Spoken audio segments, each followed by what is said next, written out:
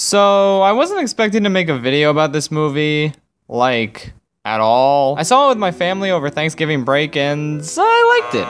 Great performances from Rami and the rest of the cast, a competent if unremarkable screenplay, unremarkable editing, direction with no style or flair whatsoever, and yeah, that's about it. Queen is my favorite band, and this was just kind of a standard biopic about something I'm very passionate about. So I liked the movie. But it's pretty telling that the most memorable part was the ad that played at the beginning for a $200 Spider-Man PS4 bundle. I ordered that thing as soon as I got home because wow, what a bargain. So thank you, Bohemian Rhapsody, for convincing me to buy the system that would let me play Persona 5, one of my favorite games ever made. You changed my life. So yeah, that was the most memorable scene in the movie for me.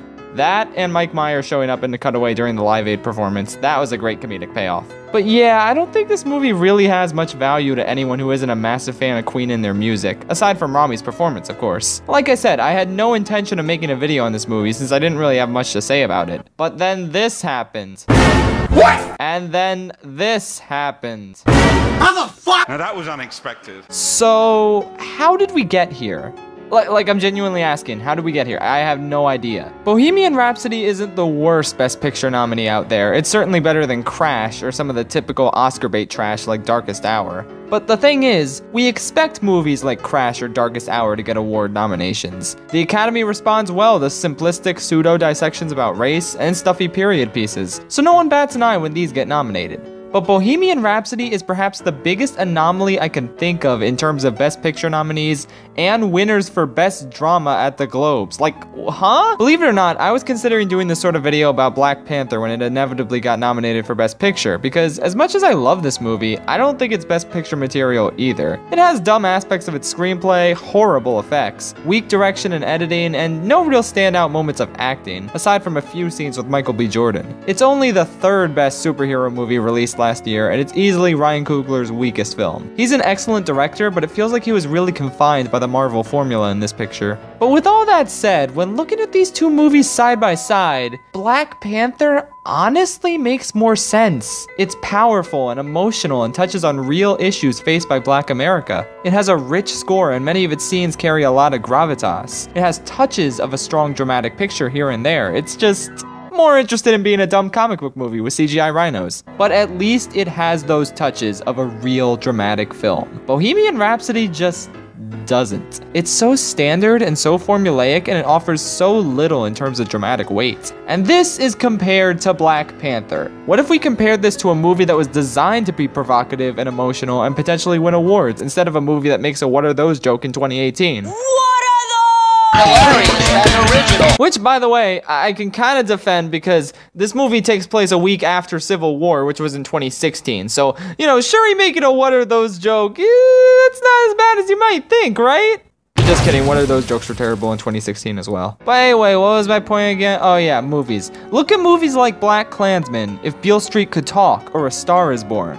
They have amazing performances, they tell rich stories, they have excellent direction, cinematography, editing, and performances. They invoke important questions and make the audience think. Even Black Panther does that last one. Do you want to know what else these four movies have in common? They all lost Best Drama at the Golden Globes to Bohemian Rhapsody. It had no nominations other than Rami for Best Drama Actor, a well-deserved win, no doubt, but it somehow won without being recognized for its screenplay, other actors, or its director. Hmm, I wonder why. Anyway, now is probably the part of the video where you expect me to explain how Bohemian Rhapsody walked away with Best Drama over four more deserving pictures, but hell if I know. That's precisely why I'm making this video. I'd like to know. This is a movie with no real visual style, no compelling cinematography, and no inventive editing, aside from the musical performances, I suppose, but that's not enough for me. A movie like First Reformed is so intricately shot and so cleverly edited that it's striking from a visual perspective. It pushes a key boundary of filmmaking.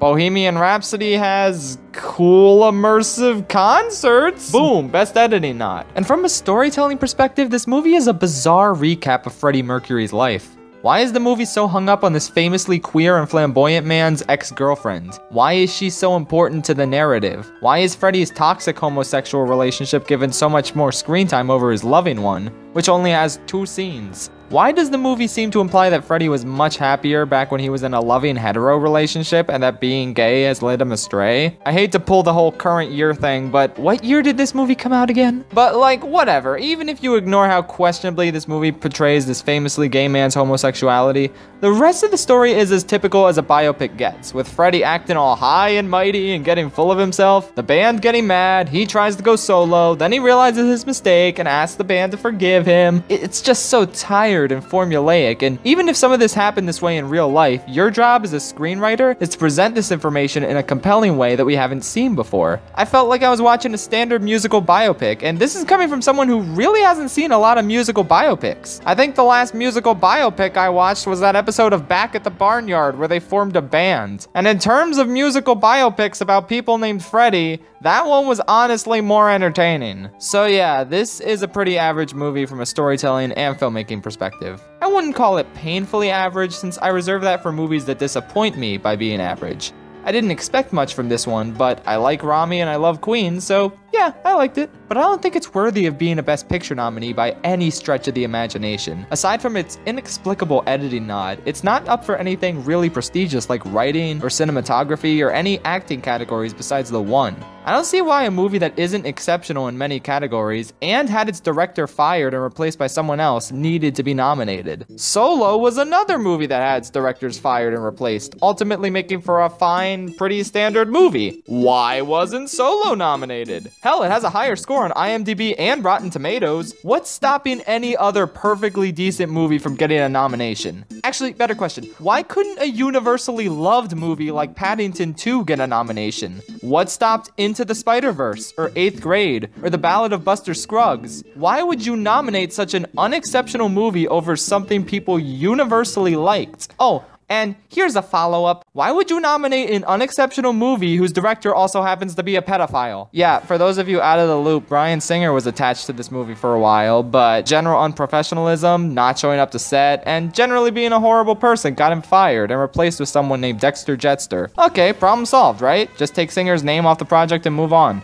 Well, they can't really do that. Without getting too much into detail, Singer shot the majority of the movie before being fired, and Dexter Jettster only shot the final few weeks of production. The Directors Guild of America requires in its contracts that each film may have only one director, or directing entity if the two directors are a team. Jettster didn't challenge for directing credit, and as a result, we have a pedophile's name on our Queen movie. That's nice. I just don't understand why this sort of vile behavior should be inadvertently rewarded. It feels like the Hollywood Foreign Press and the Academy are sending a message that they can look the other way about sexual misconduct, abuse, and rape as long as the movie is good. Which, first of all, I think we've established that this movie is not even Best Drama winning or Best Picture material in the first place. And second, I don't care if this movie was the greatest cinematic achievement ever conceived. A movie with a known abuser attached shouldn't be lavished with awards that deem it one of the best films of the year. I'm not saying everyone involved in the production should be punished. You can still nominate Rami and the sound mixers and whoever else for all the awards you want. I think they deserve it for their efforts. But the fact that I can look at the Wikipedia article for the Golden Globe for Best Drama and see this name as one of the winners is fucking insane. Hollywood is this massive bubble of people who want to seem woke and progressive. They make a big deal about how diverse and liberal they are all the time, but Hollywood is one of the most crooked,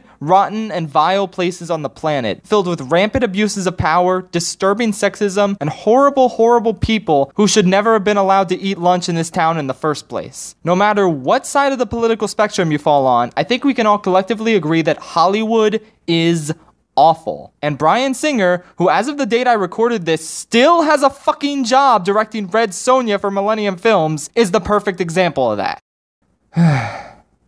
Wait, what was this video about again? Oh yeah, Bohemian Rhapsody. Look, you can watch this movie or any of Singer's other movies and enjoy them just fine. Appreciate the efforts of the actors, writers, effects people, etc. Don't be one of those dickwads who yells at a 15 year old girl on Twitter for supporting a movie she likes. But at the same time, I think after all these years, this is the nomination that finally killed any semblance of respect I had for the Academy even if you ignore Bryan Singer, which is pretty hard to do. Ultimately, all I can say about Bohemian Rhapsody is that it's is a movie. That's it. It's just another movie, not something exceptional that deserves the Best Picture moniker. So why is this in contention when there are so many other movies that deserve this spot, and as an added bonus, weren't directed by pedos? I don't know, man. I, I know this movie has a ton of fans, and I fully expect this to be my most disliked video since The Incredibles 2 one. Look, Bo Rap stands, I don't hate your favorite movie, and you can like it all you want. If this is your favorite movie of 2018, that's fine. But do me a favor,